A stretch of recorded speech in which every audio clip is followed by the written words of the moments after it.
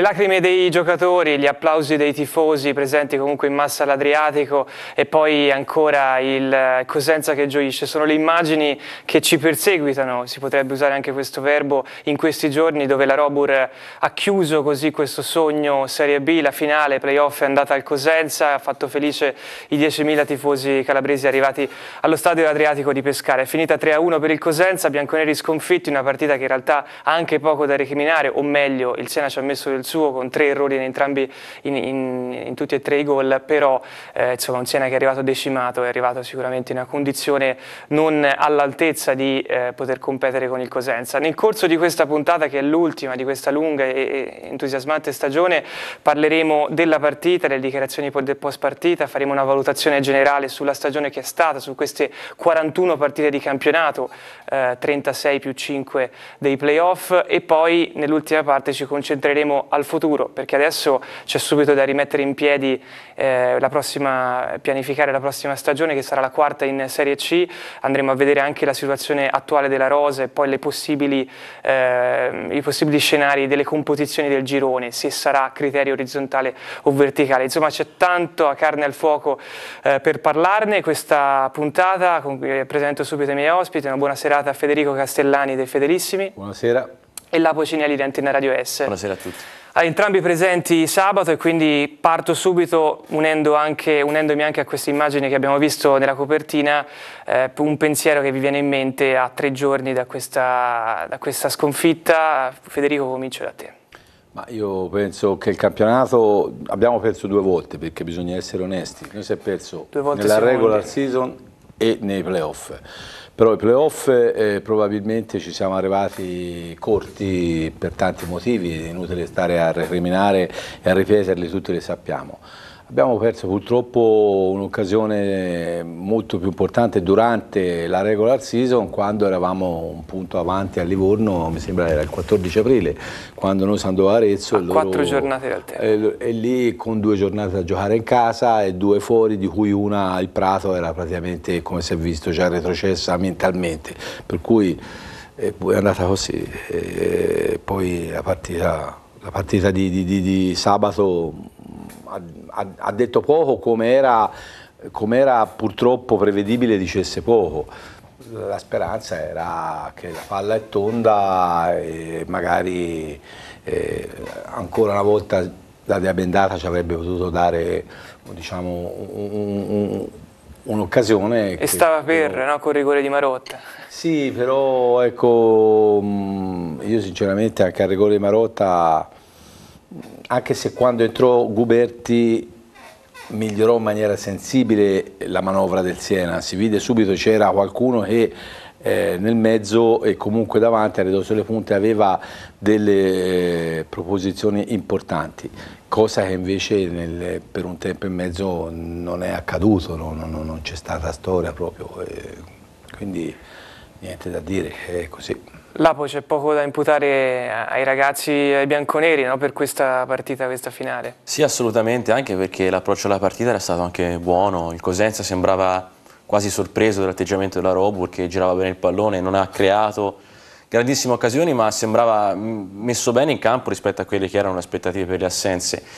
La cosa che è mancata eh, erano le alternative in panchina per cambiare la partita, non si poteva alzare il ritmo perché non c'erano sostituti, le soluzioni erano veramente poche, come ha detto a Federico Guberti un po' la partita l'ha cambiata e ovviamente se non fosse stato almeno al 70% non avrebbe giocato così poco, quindi eh, credo no, che... Si può, si può, ipotizzare, ma col senno di poi, come ho scritto io nel, nel fedelissimo online, eh, si può ipotizzare che magari eh, si poteva provare un... Cioè, a me viene in mente la Svezia, no? la Svezia tatticamente e tecnicamente enormemente inferiore anche, però alla fine graffi, sputi e calci, con un calcio tutto da discutere, però eh, ora è, è, in Russia e te sei a casa, c'è poco da fare, quindi si poteva ipotizzare un, un approccio forse più speculativo e più carognesco, questo è evidente, però ripeto, con il senno e poi, poi se la perdi perché fai così, allora tutti, eh perché una giocato certo. come sapevi giocare, hai giocato tutto l'anno, quindi come fai, fai, sbagli. Stava fatta una scelta e è andata mandata. Allora facciamo così, ci guardiamo il film della partita con il servizio che abbiamo realizzato, eh, sono immagini ovviamente che non possono far piacere, però ci guardiamo il 3-1 del Cosenza sul Siena e poi torniamo a commentare. Ad un passo dal sogno, ad un soffio dal paradiso, dopo aver sfiorato la promozione diretta in un campionato chiuso a un centimetro dal Livorno, la Robur perde anche la finale a pescare e fa felici 10.000 di Cosenza che ritrovano la Serie B dopo 15 anni. Il successo sul campo per 3-1, chiariamo, è meritato, ma resta la rabbia di aver regalato tutte e tre le reti e anche un senso di ingiustizia o impotenza nel vedere tutti quei giocatori, da Gerli a Santini, da Iapichina, Rondalini e Boulevardi, seduti in tribuna come tifosi qualsiasi, anziché in campo a meritarsi il traguardo raggiunto. Se poi ci mettiamo anche gli infortuni di Cruciani e Cristiani e le condizioni più che precarie di D'Ambrosio e Guberti, in campo nel finale contro il parere dei medici, si capisce il senso di questa finale, dove un Siena decimato cade davanti a un Cosenza non trascendentale, cinico, trascinato da giocatori al top come Tutino e Okereke. E pensare che all'inizio era stato il Siena a fare la partita, un quarto d'ora di personalità dove andavano sfruttate le due ripartenze avviate da un ottimo Neglia. Il Cosenza sbaglia tanto in mezzo ma poi si ritrova e piano piano viene fuori. Dorazzo scalda i guanti a pane, poi Sbraga buca l'intervento in uscita e spiana la strada a Tutino, lucido nello sterzare e appoggiare a Bruccini per il più facile dei gol. Nella ripresa l'operazione recupero è vanificata da una gestione scellerata di una punizione calciata da Neglia. Sulla ribattuta Brumat crossa corto e parte il contropiede 3 contro 2. Brumat e Marus si preoccupano di Ochereca e Bruccini, ma non di Tutino che col destro trova all'incrocio il 2-0. A quel punto con una panchina cortissima sembra tutto compromesso. Mignani si arrangia come può e mette dentro D'Ambrosio e Guerri, cioè un difensore centrale e un mediano di rottura, non proprio il massimo quando ti trovi a rincorrere. Quando entra Guberti qualcosa cambia, ma è la furbizia di Marotta, unita a un po' di fortuna a riaprire i giochi. Il capitano approfitta di un errore di Camigliano, aspetta Dermaco e va giù in area, calcio di rigore trasformato dallo stesso Marotta. Ci sarebbe ancora tempo, ma le lunghe pause del Cosenza rallentano i ritmi e sono anzi i calabresi a sferrare il 3-1 che poi arriva a 4 dal termine su dormita di Marus e colpo letale di Baclé, uno che ha segnato 5 gol nei playoff e tutti e 5 da subentrato. Finisce qui col tricolore che scende fino in Calabria e una profonda amarezza che prende la strada di Siena.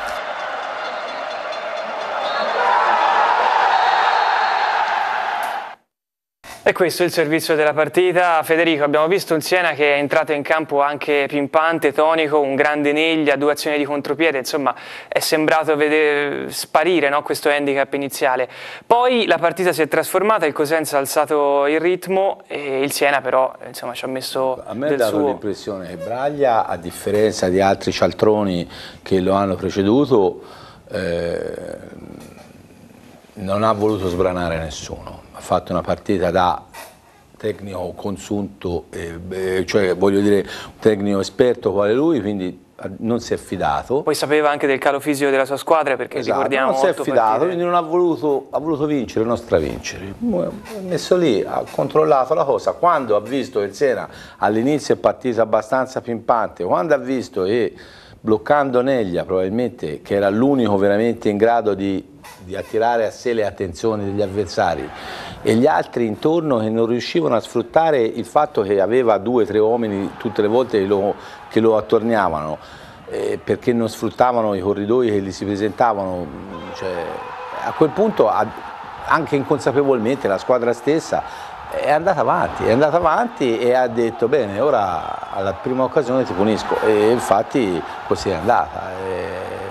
Braga ha sbagliato purtroppo un campionato stratosferico. I playoff abbiamo visto un po' in cara, no? già l'errore in casa della Reggiana. La Reggiana si fece bruciare da Altinier, con il Catania sbagliò la, la, il posizionamento su quel cross e Curiale gli mise il pallone di dietro comodamente in rete e col Cosenza ma Mignani l'aveva visto non a caso nella partita interna con eh, la Reggiana non l'aveva proposto, poi si fece male D'Ambrosio e lo dovette obtorto collo riproporre, ma che il giocatore era in un calo fisico, atletico, e purtroppo, ma questo ragazzi cioè, fa schifo Messi, fa schifo tutti certo, i giocatori, certo, cioè, certo, certo. Cioè, il campionato di Sbraga rimane una, una, gemma secondo il mio modo di vedere.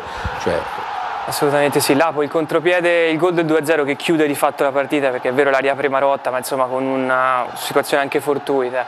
Era due minuti e mezzo, anzi due minuti nel secondo tempo, il tempo c'era e il Siena si fionda tutto in attacco, Brumat calcia troppo corto il cross e poi ne nasce un contropiede 3 contro 2, tra l'altro Tutino inventa un gol incredibile, un giocatore in crescita pazzesca perché l'anno scorso un gol a Carrara, quest'anno nella prima parte di stagione non aveva mai segnato, poi è, è esploso nella parte finale, però eh, insomma è un Siena che si è fatto male da solo, no? da, ma, eh, sì, perché devo dire che quando eravamo insieme a te a, a, commentare la partita, devo dire che era quasi spiegabile ragionare su il perché il Siena fosse andato, fosse sbilanciato così tanto per un calcio punizione. Sono scene che solitamente si vedono negli ultimi minuti di una partita, quando la disperata proprio il tutto per tutto. Poi eh, possiamo anche parlare dei movimenti fatti dai difensori per coprire le marcature, però lì è sempre complicato, si sono frazioni di secondo quando sei 3 contro 3 credo, no? non mi ricordo bene. Sì, sì, 3 Insomma, contro è 2 con difficile, è difficile perché 3 se contro fai, 2, no, insomma. se fai mezzo passo verso Tutino, Tutino automaticamente la passa al suo compagno di squadra che- è smarcato. Quindi sono, sono momenti difficilissimi da leggere. L'errore precedentemente è fatto quando tutti vanno a saltare a due minuti all'inizio del primo tempo in area di rigore, perché quella era una partita in cui te eri chiaramente in, in difficoltà Lo per il rivediamo, lo rivediamo subito qui, vedi.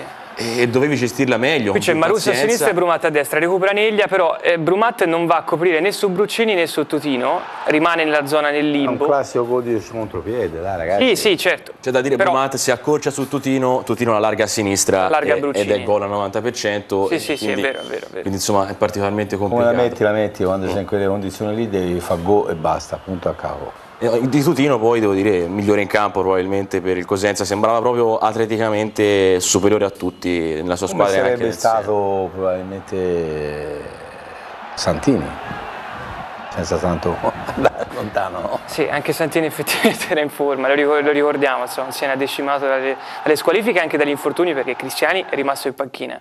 Guberti doveva rimanere in panchina, è entrato soltanto Ma per... Cristiani si sapeva, era un giocatore stirato, Sì, sì, tre- sì. cioè, ma, ma dove, cioè, si porta in panchina per fare così, per dirti si porta, ma è- che, che, che la stagione... tattica di- come quella di Braglia che, che ha messo in lista Baclé e non Okereke all'inizio e poi in realtà eh, Okereke si è allenato di Quello fatto che, che quello delle, delle speaker disse Baclé in formazione. perché infatti era in formazione. Si sono allenati in 11 giocatori di movimento, sia Baclé che, che Okereke e in lista era, era Baclé. Poi non so se è soltanto pretattica o aveva qualche fastidio Okereke che tra l'altro si è fatto male ma poi...